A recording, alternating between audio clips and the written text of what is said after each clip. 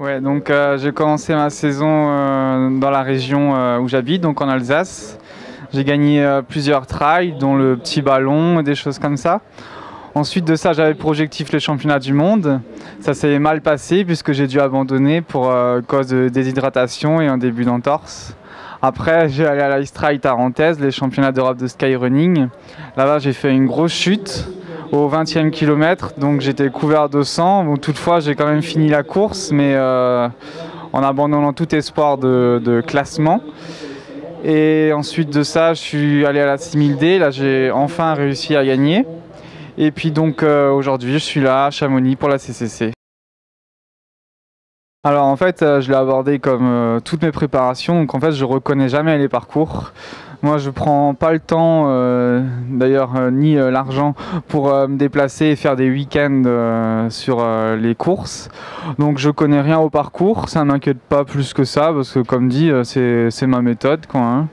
Après, euh, j'ai fait un peu plus de volume que d'habitude, mais par chez moi, hein, comme d'habitude. en fait, c'est vrai que c'est un petit peu une saison test cette année, enfin surtout cette fin de saison, parce que là, je vais faire la CCC et la Diagonale des Fous.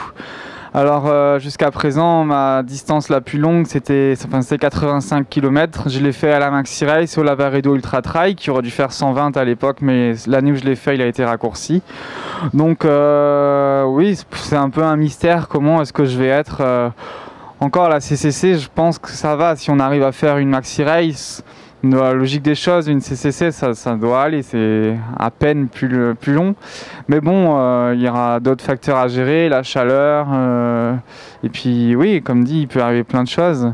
Mais après, est-ce que je suis fait pour ça euh, C'est, je le serai demain. Ah, c'est sûr que c'est c'est magnifique ici, ce son. hein, c'est difficile de dire le contraire. C'est clairement autre chose que, chez moi. Parfois, je me demande comment ça se fait que j'arrive à gagner des courses euh, quand je vois le dénivelé qu'il y a chez moi par rapport à ici. Après, c'est sûr, c'est une ambiance à part aussi. hein. Euh, on est sur euh, le salon du trail, il y a des, milliers de personnes. Enfin voilà.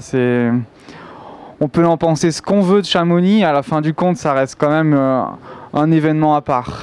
On peut le critiquer, aimer, quoi que ce soit, mais je pense que quand on le vit, c'est quand même quelque chose de chouette.